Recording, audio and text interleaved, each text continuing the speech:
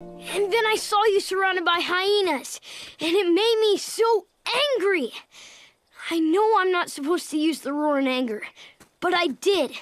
And then. I know, Kion. I was there. So, what I need to know is can you ever forgive me? Forgive you? There's nothing to forgive. You were saving my life.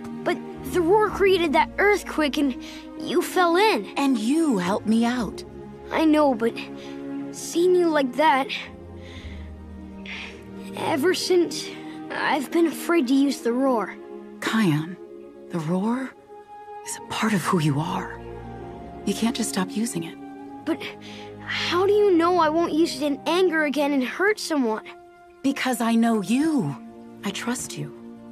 Kion! Kion! It's Makuu! Makuu? What's he done this? Uh, oh no? What's on your head? It's a Bunga original. I'll explain on the way. Follow me! Makuu? These floodplains aren't yours. You're welcome to use them, as are all the animals of the Pride Lands. And if you're not willing to share, then it's time to leave. That's right! You heard Kion and Queen Nala. Clear out. The floodplains don't belong to you. sure look like they do to me. We crocodiles keep what we take. The Queen! Mom! no, not in anger. Makuu? What are you gonna do, Kion? Roar at me and risk hurting your mom? Again? Kion, trust yourself.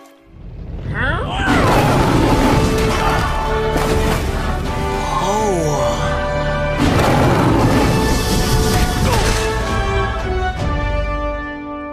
Next time when I say go, you leave.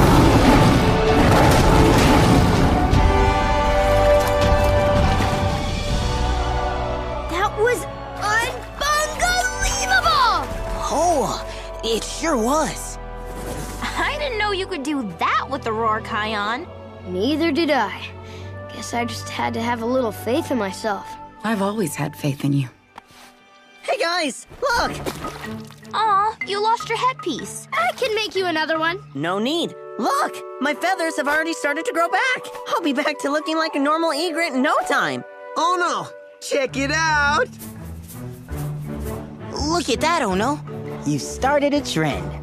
Oh. Well, I suppose I did.